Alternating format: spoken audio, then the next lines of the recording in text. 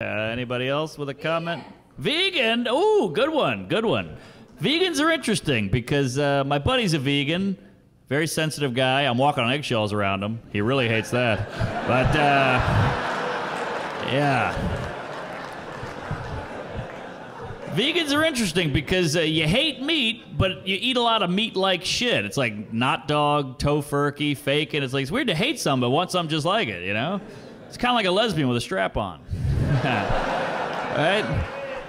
You hate dick, but it looks like a dick, feels like a dick. I can't believe it's not dick. it's beyond dick. Yeah. My vegan friend, uh, he's a, I love him to death, but he gives me a lot of shit all day long. He's like, I can't believe you eat animal products. And I caught him biting his nails the other day. I was like, ah.